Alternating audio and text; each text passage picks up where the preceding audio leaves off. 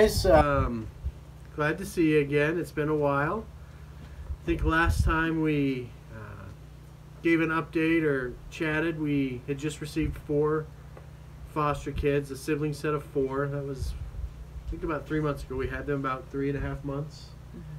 Um, they just left. We'll talk about that a little bit later. But so we just wanted to give a quick update on that, on that placement, and then just on foster care in general, because we know that uh, it's tough to be a foster parent, and this world of foster care is dark and ugly sometimes. And this last placement definitely um, showed that to us. Uh, but it also like it's just a testament of of how awesome and amazing God is. Um, before this last placement, uh, Lindsay and I had just prayed to God that we would get another chance. I want me to put my underwear on. That's Tucker. Um, that God would give us another chance to do it better. Um, the last time we had four foster kids, so eight kids total. Um, that ended didn't end well. Uh, I think we've talked about it before. We sent them away. We said we couldn't do it anymore, and we wanted to get out of foster care. Um, and then we talked about God just talking to us, bringing us back into foster care. And so since that happened, we Sweet. had just prayed for a chance to do it better. You know, we just asked God, give us another chance. Help us to, to do it better a second time. Um, and He did that. He gave us a sibling set of four, so we were at eight again. And um, it had a lot of challenges, more challenges than the previous eight, I would say, the previous four. Um, we were investigated at least three, but maybe even four times with this last placement. Um, DHS came over twice, um, but there were two other ones that they just kind of didn't even come over because they had just been here like a few days earlier. Um, so, in the last time we were investigated one time and said, "That's it, we're out." All right. Sorry, guys. We had to move inside because the kids were getting a little loud in our little pool. So we're back. This case was even our caseworker and our agency said this was one of the hardest cases that they've had, um, and the parents were some of the most difficult parents that they've ever dealt with. Um, so, I mean, it was a very difficult, very hard case. So we dropped them off at visits, and there's supposed to be supervision, and uh, all the kids would be in the parents' car, no supervision around. Would give them stuff to sneak back to our house or um, ask them questions about what goes on here. Would tell them to try to steal things from us and bring to them. We'd turn that in and tell DHS that, and nothing ever happened there. Um, but their parents, one time we brought uh, their their four year old, right? Or sorry, Crystal says nerd. Um, we brought their four year old to visit, uh, and he had a shirt. It was his favorite shirt. We took him to his visit. and his parents complained one that his shirt was dirty, and two that it was too small. So they took his clothes from him, our clothes, um, but that turned into an investigation. That his shirt was too small and it was dirty. Um, and it was just things like that constantly, all the time. We, we would pick them up and be on our way home, and they would tell Lindsay, Yeah, our mom says you don't feed us very much, or you don't have enough clothes for us. Um, so just they would attack us through their kids. Pretty much every week. Close to the end of, of their time with us, uh, DHS came out to interview them, the kids, about a separate, something totally separate. Um, but then they en- ended up talking to them about what was going on here, us not feeding them, and whatever. Allegedly. Not Allegedly, feeding them. yeah. Obviously, none of these were founded. they were all unfounded. We're feeding them. We're they have plenty of clothes, all that stuff. Um, but the last one, DHS came out and talked to the kids, and then they pulled me and Lindsay away into our bedroom and, and said that the parents don't want the kids going to church with us anymore. Um, they actually said the parents forbid the kids to go to church with us and they wanted us to stop praying with the kids at the table and stop talking about the Bible. Because every morning at breakfast, if I'm home, um, and then Lindsay will do if I'm not home, Lindsay will do it. Um, but we'll pray and we'll do a little devotion, a little Bible time where we get into the Bible, and we talk about it. Um, and two of their kids said that, you know, they wanted to follow Jesus. They gave their life to him. And they told their dad this, and he told them that they weren't believers, they weren't Christians. Got really angry with them about it. So I think that's where this was all coming from. Um, but so anyway, DHS told us that we couldn't take them to church anymore, we couldn't pray with them, and we couldn't read the Bible in our home with them around anymore. And were we okay with that? well, uh, we both said no, we're not okay with that. If they're in our house, they're going to go to church. I'm going to try to explain a little bit about what we were talking about with DHS. We feel that God brought us into foster care to love kids and bring the gospel to the kids that are in our home. The Great Commission. Go and spread the gospel to all the nations, baptizing them in the name of the Father, the Son, and the Holy Spirit. Just go and spread the word. Um, DHS came in and, and told us we want you to love the kids, but not share the gospel with them. Keep that separate. Um, and we didn't feel that that was something that we could do. Uh, they're one and the same to us. We love the kids and we share the gospel with them. They're going to go to church with us if they're in our house.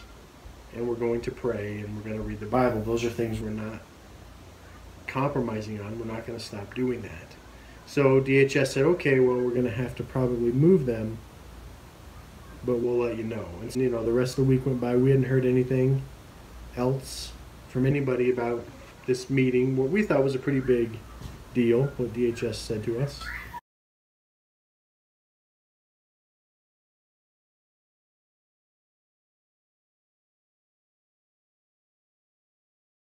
So I was just getting ready that afternoon to, to get ready to go get them.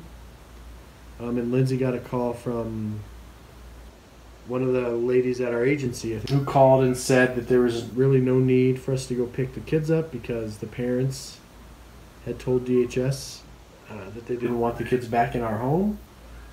And our agency had told DHS that they didn't want the kids to be a part of our agency anymore. That was how that placement ended. Without saying too much, it was dangerous things that we were dealing with, uh, things that, you know, compromised our safety. Yeah.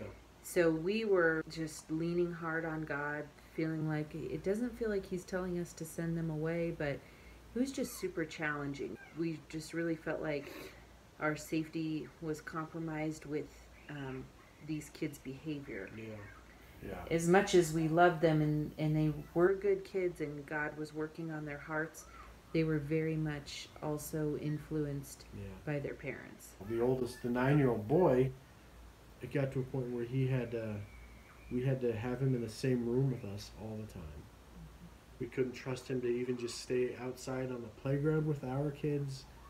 We, he had to be in the same room as us where we could watch him and see him every minute of the day. And I mean, it got to a point where, you know, if I'm at work and Lindsay's here, well, there's seven other kids. It was sad mm-hmm. because you know there you could see that, you know, there were times where he was a, a great kid, thoughtful and caring, but with his parents' influence, I mean, we couldn't even trust him to be on his own with other kids. And so there were so many times where we thought, we can't go on like this. This isn't safe or it's Yeah. not practical or doable. And we just always felt God strengthening us to keep going. Mhm. And there was just always enough grace to cover each challenge and each situation. And then for God to be the one to finally move them. It wasn't our Yeah. decision, is what I'm saying um, it was just such a different experience than how things ended a year ago when we Mhm. had kids leave because we got scared. For him to move them was his grace on our family too. I mostly just want this to be an encouragement to other foster families that you know you can go through those really hard situations and those really hot fires Mhm. and God will be with you. He walks before you and behind you, and He surrounds you, and Yeah. He just allows you to keep going. Yeah, I mean, constantly, you know, throughout the day, we would just be relying on His promises. That, you know, and we would, I would send Lindsay Bible verses while I was at work, and she would tell me what, sh what oh, this just happened, this just happened, and just to keep focusing back on God. And I mean, He promises to never leave us or forsake us. Um, he doesn't promise that you know following Him is going to be easy, and He doesn't promise that once we follow Him, we're not going to struggle, we're not going to go through fires. I mean, I think He says the opposite because he went through those things. But to kind of wrap this all up, our kids obviously, we had no idea that we wouldn't see those kids again. Our daughter, especially, was really connected with their little girl. Um, and so, you know, when they left Friday, hey, we'll see you guys Monday, our kids were kind of counting on that. When Monday came around, uh, and that didn't happen, we told our kids, and our daughter was pretty devastated. And so we wanted to just get away and not think about it for a while. My parents were up um, north of here, camping up in Loveland. So we thought, let's just go up there. Let's get a hotel with a little water park in it. Just kind of forget about this weekend, forget about the past three months, uh, and just kind of take a deep breath, exhale, and just have some fun. Um, and that's what we did, and I think it was awesome. Our kids had a great time, and and it served as a really good Yeah. distraction instead of just this quiet house going from eight kids to four Yeah. kids. To fill up some of the quiet time with distractions has been our best strategy when kids leave. And our daughter's still, you know, working through it, and we're helping her work through it, and um, God is helping her work through it. Um, and it'll take. It just takes time. So I think most people think with foster care that the hardest part is when you love these kids and then they leave. And I just feel like I want to encourage you or somebody who's doing foster care or thinking about doing foster care that that is a hard part, but the amazing things that God is doing in our family and in the kids that we got to love that is so much bigger than the sadness the sadness is there and, but even our nine-year-old daughter would say she's still glad we went through this and she's still glad she had Yeah. that sister to love for those 100 days and um, you know those kids have something that will never be taken from them and we have new things grown in us that will never be taken from us One thing that we've all clung to this whole time is God just saying His grace is sufficient for us, um, and it is. His grace is sufficient for the kids coming here and the what the things that happened, and it's sufficient for them. So we also took a bunch of video when we were at the hotel and at the water park and spending time with grandma and grandpa, just spending time as a family and letting the Lord heal our hearts. And thanks for listening. And we hope that this is an encouragement to somebody out there.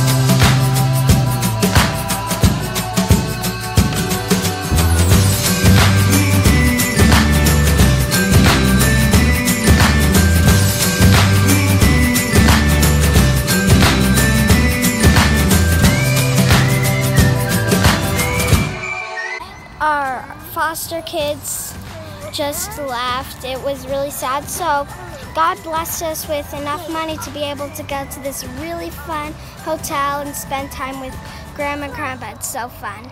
Bye.